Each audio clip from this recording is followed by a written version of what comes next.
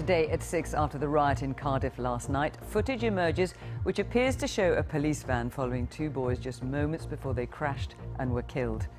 The CCTV shows two teenagers on a bike with the police van just behind.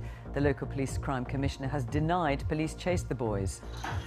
A riot broke out in Cardiff last night after the boys died, involving up to 150 people. Here in Cardiff, tonight families and friends are grieving after the loss of two teenage boys and questions are being raised as to the role police invo involved in their death.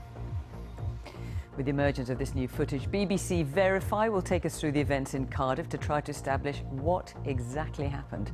Also on the programme, the search for Madeleine McCann begins around a reservoir in Portugal, 16 years after she disappeared.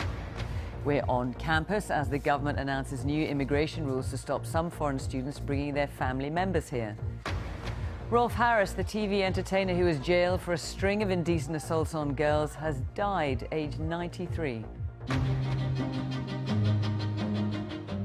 And we take you on a tour around the National Collection of British Art as Tate Britain gets a new look. And coming up on BBC London, cracked walls and collapsed floors. Residents in an expensive new block in Camden who are told their homes are now worthless.